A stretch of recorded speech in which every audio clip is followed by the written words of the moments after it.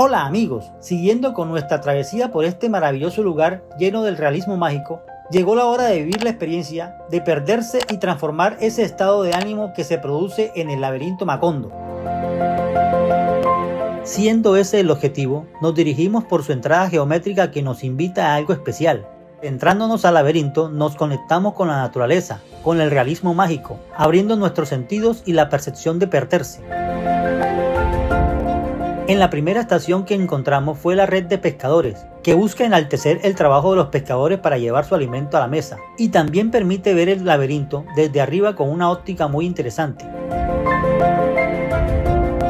Nuestra segunda parada fue el árbol de Macondo, que puede llegar a crecer unos 50 metros como una bonga enorme y que está en peligro de extinción, siendo este el origen de la palabra Macondo.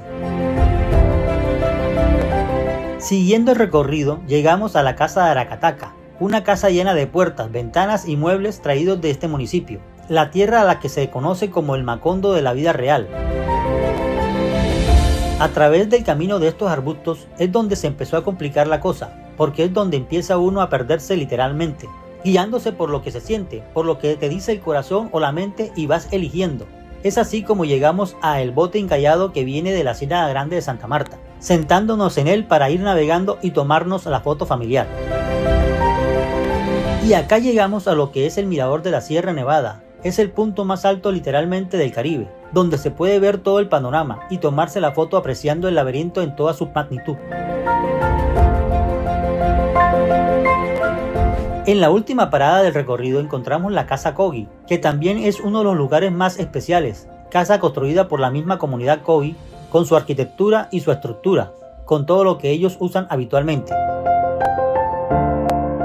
Terminamos haciendo el recorrido en 30 minutos aproximadamente, logrando encontrar la salida gracias a nuestro guía Aniel David.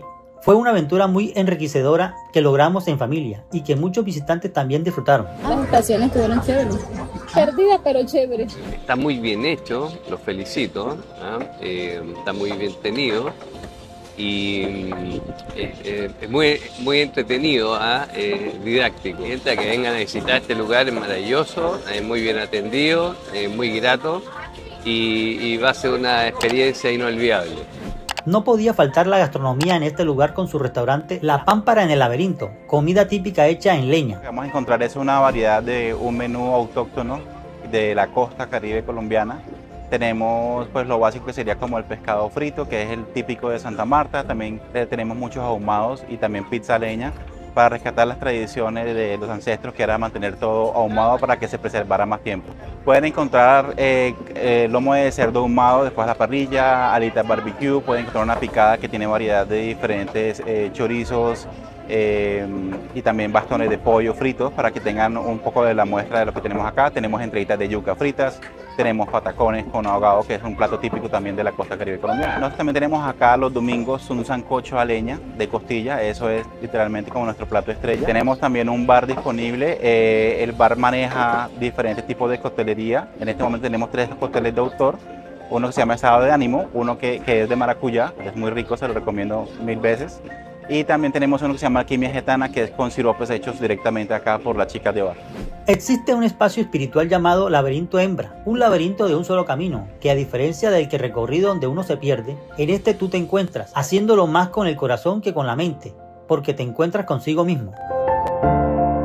Este mágico lugar cuenta con diferentes juegos de esparcimiento, muchos espacios de zonas verdes donde podrás celebrar diferentes eventos y al final relajarte con un hermoso atardecer. Un destino recomendadísimo para venir con amigos, en pareja o en familia. Hace dos años se abrió al público y ha tenido constante crecimiento y expansión, ampliando su oferta que complementa la experiencia. Yo lo veo como que el contenedor en el que sembramos esta semilla es básicamente la tierra. O sea, y en la tierra las posibilidades de que crezca lo que tenga que crecer pero es un proceso continuo. Nosotros estamos siempre eh, viendo otras posibilidades, ahorita incluso eh, ya estamos avanzando para que haya también una opción de hospedaje, por ejemplo. Entonces se empiezan a ampliar también eh, las posibilidades y obviamente seguir, digamos, desarrollando este tema de la literatura y de Macondo, que es lo nuestro pero siempre desde la creatividad, desde hacer como nuevas cosas. Después de conocer y vivir esta experiencia mágica, también tuvimos la oportunidad de ir a la playa de Mendihuaca que se encuentra pasando la troncal a unos metros. donde encontramos muchos cangrejos azules y un paisaje maravilloso, sintiendo el golpe de las olas y ver la sal cómo emerge del mar.